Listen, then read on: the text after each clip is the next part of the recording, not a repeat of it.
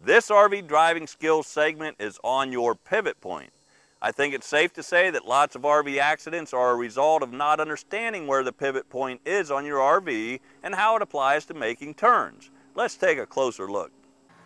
The pivot point is defined as the fixed point on a vehicle at which the vehicle rotates around in a turn. On a two-axle vehicle, it is the center of the rear axle. This means that if an object, for example a tree, is located at the center of the rear axle, or behind the rear axle, you can turn toward the object and not hit it. If the object is ahead of the pivot point and you turn toward the object, you will hit it. On most vehicles, you will not be able to see the rear wheels when you are driving, so you will need to establish some reference points to know where your pivot point is located when you are looking in your mirrors.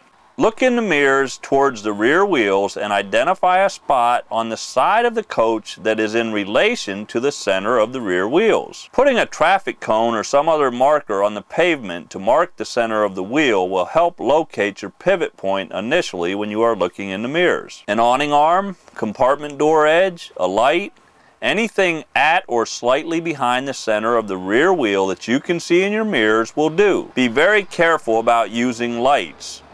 Some manufacturers do a good job and put the side marker lights at the pivot point, but others just put lights anywhere, usually ahead of the pivot point. Once you determine where your pivot point is in the mirror, you will know when it is safe to make a turn.